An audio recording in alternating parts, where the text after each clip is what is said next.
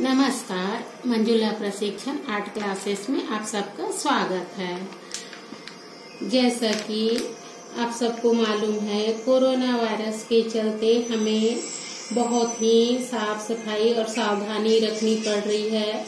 बाकी सारी चीज़ों को तो हम पानी, साबुन या लिक्विड से साफ़ कर सकते हैं, पर जैसा कि हमारा मोबाइल, लैपटॉप, चार्जर, ईयरफोन इन चीज़ों को साफ़ करना मुश्किल होता है। और जैसा कि अभी हमें घर पे ही रहना है बार बार मेडिकल भी नहीं जा सकते तो इन सब चीज़ों को घर पे कैसे साफ़ करें, इसका हम एक आसान तरीका बताएँगे।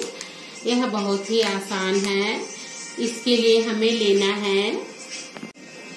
देखिए, आप लोग, यह नेपथालिन की गोलियाँ हैं, इसे डामर गोली भी कहते हैं।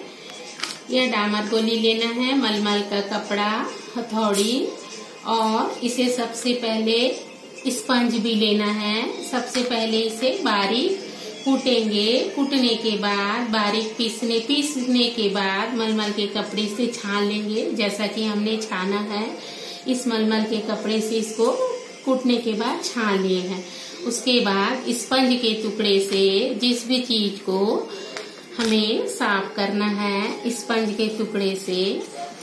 ऐसा लगा के इसको साफ़ करेंगे और लगा के इसमें कुछ देर के लिए छोड़ देंगे। ऐसा इसमें लगा के छोड़ देंगे। मोबाइल में जब करेंगे तो ज़्यादा देर छोड़ना नहीं है। मोबाइल में लगा के थोड़ी देर में और एक और स्पंज के टुकड़े से इसको साफ़ करेंगे। देखिए, पहले हमने इसको, इसके ऊपर लगाया है। अब तुरंत ही इसको मोबाइल को तुरंत साफ़ कर देना है लगा के। इसी प्रकार आप लोग लिफ्ट का बटन, डोर डोरबेल सभी चीज़ इससे साफ़ कर सकते हैं।